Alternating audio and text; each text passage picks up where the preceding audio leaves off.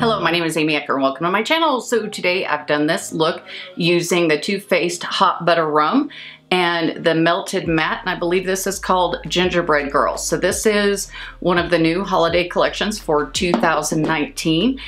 I'm just gonna go through a little bit of it and kind of give you some of my thoughts and we're gonna go from there. So do you need this in your arsenal for the holidays?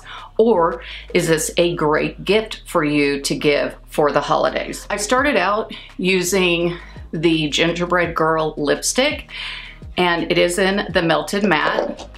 I love the fact that it really doesn't kiss off. I have just a little bit around the edges so for whatever reason, that didn't dry down.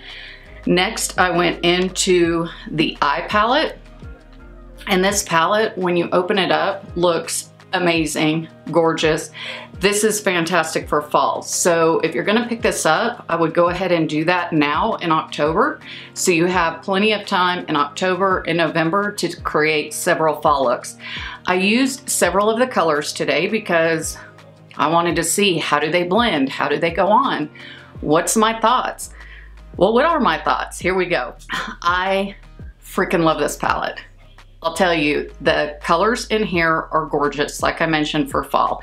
Love the fact that it is tiny, so if you go to work and you need to touch up after work for, let's say, an event, this is gonna slide right nicely in your purse without taking up a lot of space. The other thing I like about this is it's got several mattes and then some shimmers. So it gives you kind of a balance of 50-50. And the way that they balance the 50-50 I thought was pretty awesome. So you have this color here, this color here, this one and this one that are mattes. And those are powerful matte colors to be able to use all over your eye. As far as the shimmers go, as you age, shimmers aren't as easy to use. You may just wanna add that a little bit on your eye. My sister-in-law were talking about someone on TV that she saw that was probably in her 40s and used shimmer all the way up to her eyebrow bone and how much that showed her age. So for us aging women, these shimmers that they put in are lighter, so you can use them on your eyelid, maybe up underneath your brow bone, but mix it with the matte so you get a good balance for an aging eye. For you ladies and gentlemen that have young, non-wrinkled eyes, I'm kind of jealous, kind of jealous. I miss those days. But what I like about this palette also, it doesn't make my eyes water.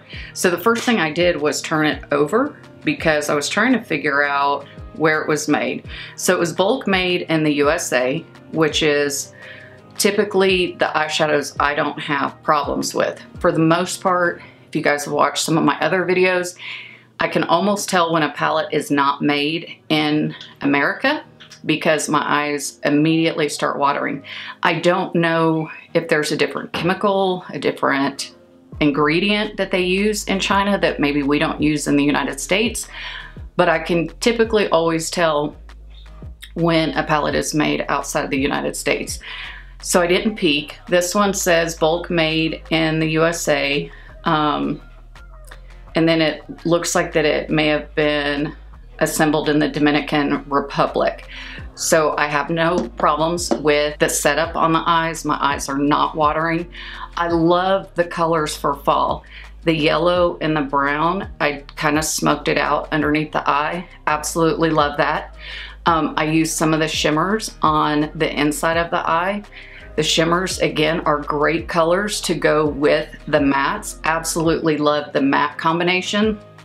I almost used a lot of yellow on the top. And for some of you guys that have watched my other videos, I really, really love yellow. So the fact that I only kind of smoked it out on the lower lash line actually shocked me. I went outside my comfort zone because normally I like doing yellow all over the lid. But I love how these blended so well, so easy. They're not patchy at all. As you're putting them on, they're pigmented. They blend amazing. The formula is off the hook. So for me, I give this palette a perfect 10 out of 10. I have put this in my basket, so now I'm ready to purchase. I do think you need this one in your arsenal. I just think this is a great palette. It's not very expensive. If I'm not mistaken, it's under $30. So again, for a gift, the palette is fantastic. It's very budget friendly. If you want it for yourself, again, budget friendly. And I think you can get so many looks for fall just with this palette alone. I'm fully excited about this palette. All right, so I hope you did enjoy this video. I hope you love all of the colors for fall, that you are inspired to create some beautiful looks. This is absolutely fantastic. Love, love, love it. All right, I can't wait to hear your thoughts and opinions, and I look forward to seeing you in the next video.